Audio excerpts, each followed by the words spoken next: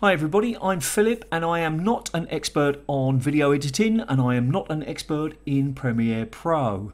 Uh, what happened was that I was trying to work out something and I couldn't find the answer and eventually I found it myself and I think that maybe there are other people out there like me who are struggling to uh, find the answers to certain problems. Yes, it's true, you can watch all of the tutorials but maybe you just want the answer to a particular problem and this is what that video is.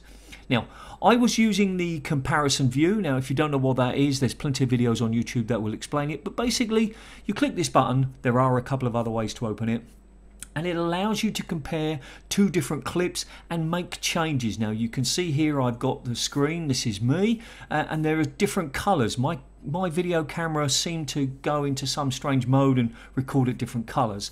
Now, what I want to do with the uh, comparison tool is I want to change the color. So I'm going to click the button up here and this will bring up this panel. This allows me to change the color based on the reference and the current. And one of the cool things that you can do is you can click this color wheels match and you can do face detection and you can click apply match and it will apply a change based on the colors of the face. Now I don't want to do that because I tried it and it didn't work for my purposes.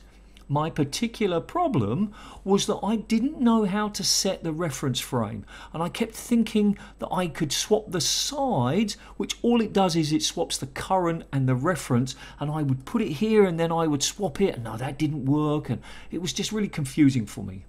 And the answer is this bar here.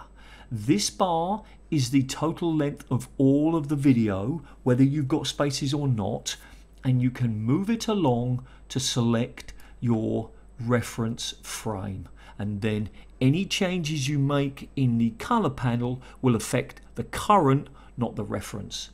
Now you can you can see that there are different colors here because I my my video camera just went through weird things. Now if you want to you can either click on this once and then you can press your down and up arrows to move it across or you can just click on it and you can press delete and enter a time and then press enter and it will jump to that point in time. Uh, so how you make the changes to the uh, color frame uh, and the comparison view and all of the colors, watch other videos for that. This was just about choosing the right reference frame. I hope that's useful.